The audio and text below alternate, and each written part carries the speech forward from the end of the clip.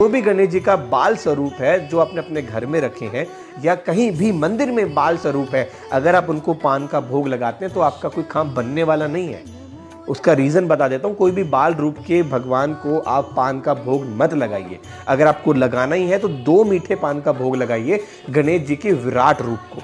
गजानंद की हम पूजा इसलिए करते हैं क्योंकि सबसे गणों के अधिपति माने जाते हैं। देवों के देव महादेव जैसे हैं, उनके वो पुत्र हैं और सबसे पहले गजानंद की ही पूजा होती है क्योंकि उनको मंगल सिद्धि, देवता भी माना जाता है कि हर व्यक्ति के कार्य में मंगलता रहे। हमारे कार्य में आप मूवीज़ देखते हैं आप कुछ भी करते हैं, घर में पूजन करते हैं, सबसे पहले गणेश जी की अर्चना या वंदना होती है कि गणेश जी, आप हमें आशीर्वाद दीजिए, जिससे हमारे काम में हडल्स ना आए। तो उसका ये विशेष उपाय है कि आप गणेश जी के विराट रूप के पास जाकर के दो मीठे पान का भोग लगाइए, एक मंदिर में चढ़ाइए और खुद आकर के खा लीजिएगा। और खाते समय उसके अंदर जो आपका विचार है, जो आपकी मैनिफेस्टेशन चल रही है, उसका अपने मन में ध्यान करें, सिमरन करें।